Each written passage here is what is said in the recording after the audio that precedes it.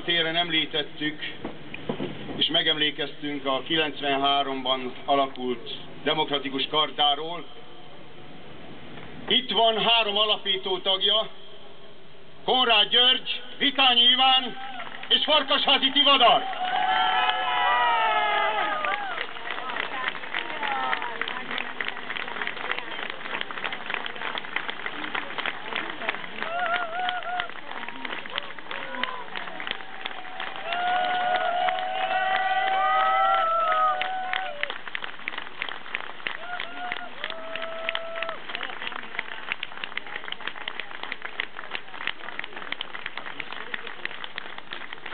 Az alapítás pillanatában az alapítók figyelmeztettek bennünket a demokrácia ellen támadó veszedelemre, illetve akkor az alapítók esernyőt nyitottak a barna eső ellen. 95-ben úgy döntöttek, hogy mindez okafogyottá vált, most azonban úgy gondoljuk, hogy a barna eső ellen ismét esernyőt kell nyitnunk.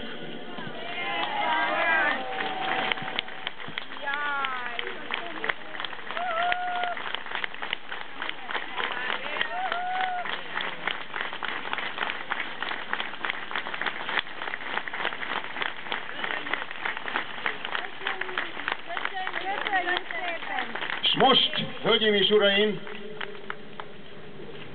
Vitányi Ivánt kérném meg, hogy szóljon önökhöz.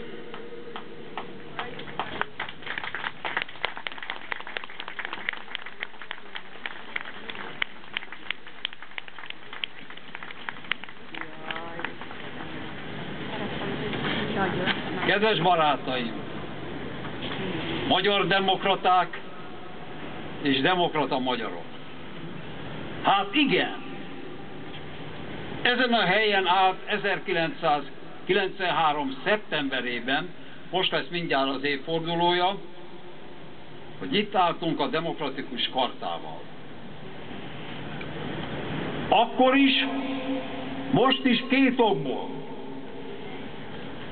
Az egyik valami ellen, a másik valamiért. Valami ellen mondtuk akkor. Mert idézem, nem hagyjuk, hogy az utcát a szélsőjobb, gátlástalan, agresszív politikai szintéré zülleszen.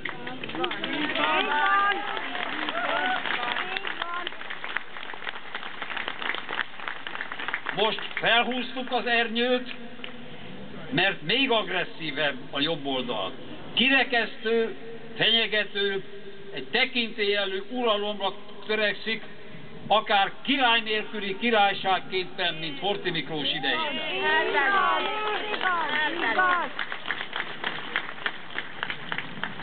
És akkor is a demokrácia, és akkor is a nemzet felemelkedése érdekében voltunk. Nem csak valami ellen, hanem még sokkal inkább valaminek az érdekében. Célunk tehát a demokrácia és a társadalom felemelkedése. Most, itt az utcán, itt a téren, ebben valamennyien egyetértünk. De nem itt kell eldőlnie, hanem az egész társadalomban. Nem is csak a politikában, hanem az egész társadalomban. Történelmi pillanat ez. Történelmi volt 1992-ben, és történelmi lehet most, ha folytatjuk. Mert megmutatjuk, hogy Magyarországon nem csak a szélsőségek vannak a politikai téren. Nem csak ők mutatják meg magukat, hanem mi is, a magyar demokraták.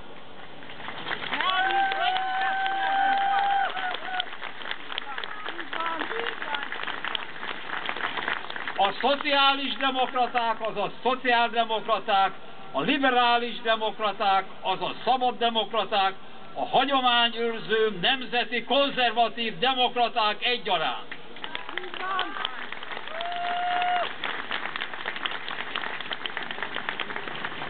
Mi mindannyiunk nevében vagyunk, és azt hiszem mindegyikből vannak itten szép számmal. Mert meg kell mutatni nem csak magunkat, hanem meg kell mutatni ezeknek az irányzatoknak. Mert sokszor a veszekedés eltakarja a lényeget, eltakarja azt, amiben egyetértünk. Mert nem csak arról kell vitatkozni, amiben különbözünk a demokrácián belül, hanem fel kell mutatni, amiben egyetértünk.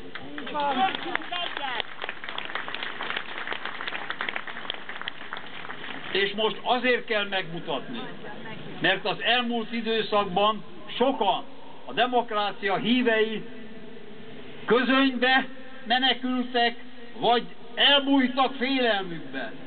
Ennek szeretnénk, ha véget vetnénk.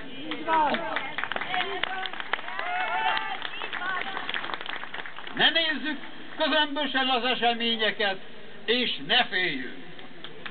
Nem is félünk. Ne féljünk, mégpedig azért se féljünk, mert nem csak, hogy sokan vagyunk, hanem én úgy gondolom és úgy tudom, hogy voltak éppen többen vagyunk ebben a társadalomban azok, akik a magyarságot és a demokráciát egynek gondoljuk, mint azok, akik nem.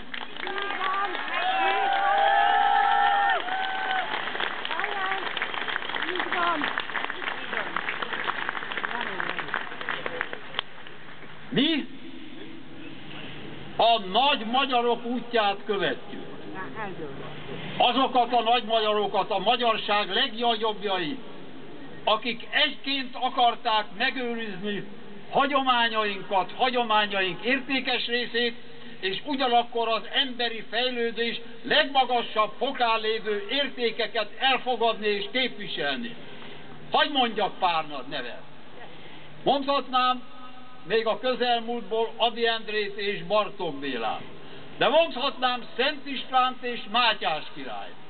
Mondhatnám Széchenyit és Kosutot. És folytathatnám Márai Sándorra és Bibó Istvánnal.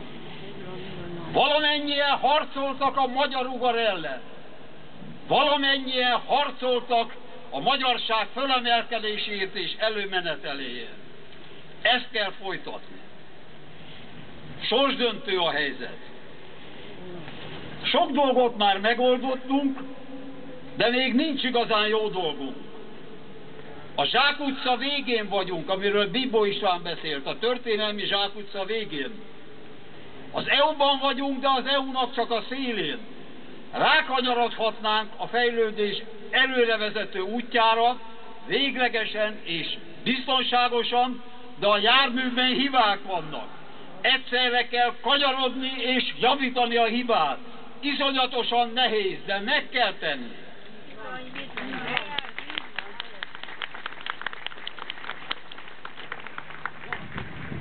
Most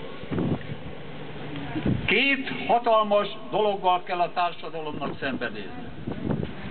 A lakosság, a társadalom számottevő része nem részesült eléggé azokban a értékekben és azokban a jókban, javakban, amit a modern társadalom megteremtett, és amivel jogot kaptunk a rendszerváltás után 1990 után.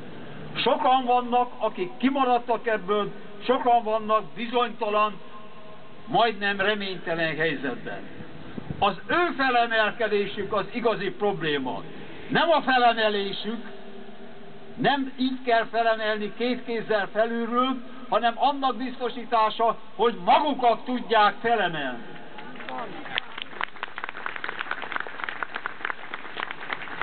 Ehhez erős, fejlődő és fejlődésében erős gazdaság kell.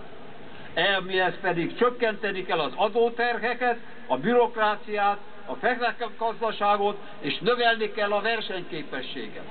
Mindenkinek tudni kell, hogy a kettőt együtt kell csinálni. És a kettőt nem lehet egymás ellen csinálni, hanem meg kell találni a helyes mértéket. Ha a gazdaság körül megnő a társadalmi feszültség, a szegénység, akkor a tőke elmenekül.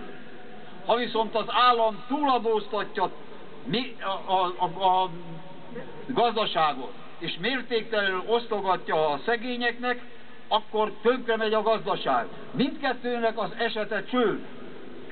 Ne higgyünk tehát a hamis profétáknak, akik azt hirdetik nagy okosan, hogy nem kell ide semmi más, csak ők, akik majd egy csettintéssel, tolvonással, mindnyájuk helyett mindent elintéznek. Nem lehet.